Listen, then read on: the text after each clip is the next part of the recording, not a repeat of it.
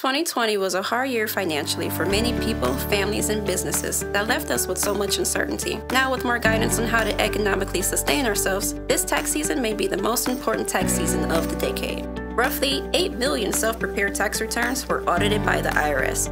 Companies promote self filing for their own financial gain, but one small error can result in months of IRS delays. Here at Ferguson Accounts, our tax preparers are trained in new and old tax laws, stimulus, and CARES Act laws. We will find and file all credits you or your business qualifies for, as well as help you receive your stimulus payment if you haven't already. Whether you're a single family home or an independent small business, we're here to meet your tax needs by truly living up to our model large enough to meet your needs, yet small enough to know you by first name.